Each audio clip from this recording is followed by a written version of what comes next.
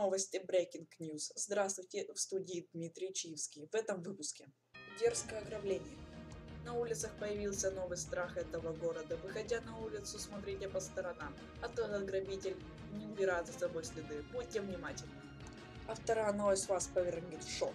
Из тюрьмы города сбежал новый преступник под названием Саревс. Если вы увидите его, звоните в полицию и срочно сообщайте властям. Этот преступник был посажен за непредумышленное убийство. Будьте внимательны. Вот мы опять и в студии. Продолжение через рекламу.